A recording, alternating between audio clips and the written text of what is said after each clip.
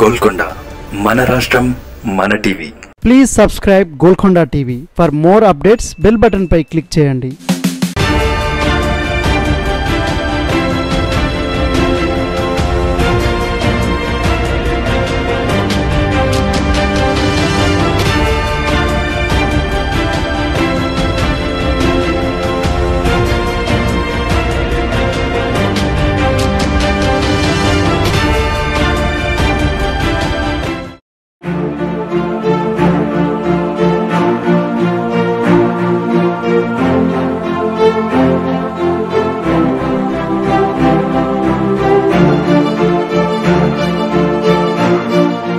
రెండు తెలుగు రాష్ట్రాల్లో భారతీయ జనతా పార్టీ ప్రభావం చాటుతుంది.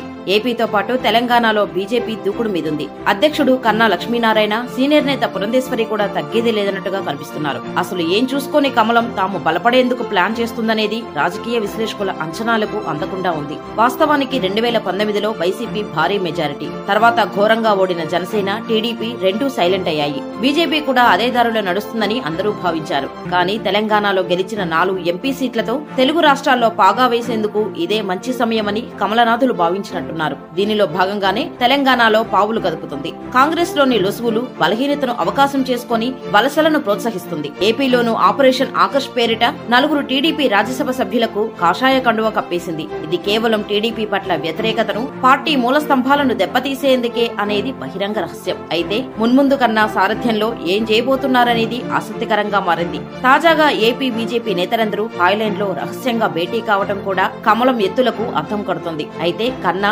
ఇదంతా అధిష్టానం ఆదేశాలతో చేస్తున్నట్టుగానే విపక్షాలు చర్చించుకుంటున్నాయి. రాయలసీమ ఉభయ గోదావరి జిల్లాలను లక్ష్యంగా చేసుకుని టీడీపీ బీజేపీ కాంగ్రెస్ మూడు పార్టీల నుంచి సీనియర్ నేతలనే కాదు గ్రామ స్థాయిలో బలమైన కేడర్ ఉన్న నేతలను తమ వైపునకు మళ్ళించుకోవాలనేది వారి ఎత్తుగడగా తెలుస్తుంది. టీడీపీ నుంచి కనీసం పది మందికి పైగా ఎమ్మెల్యేలను పార్టీలోకి ఆహ్వానం పలికేందుకు సిద్ధపడ్డారు. వీరిలో కమ్మ వర్గానికి చెందిన వారే కాకుండా మిగిలిన సామాజిక వర్గాలు కూడా ఉండేందుకు వీలుగా ఇప్పటికే కేంద్ర మంత్రి ఒకరు మంతనాలు సాగిస్తున్నట్టు తెలుస్తుంది. అదే నిజమైతే టీడీపీ ఊహించని షాక్ తిన్నట్టే.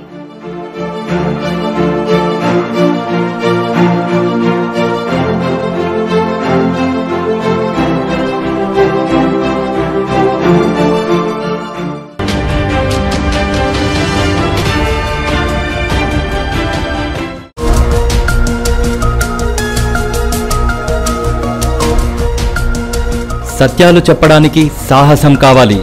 నిజాలు చెప్పే పత్రికలు రావాలి. నిజం మా నైజం. మెట్రో పక్క తెలంగాణ దినపత్రిక.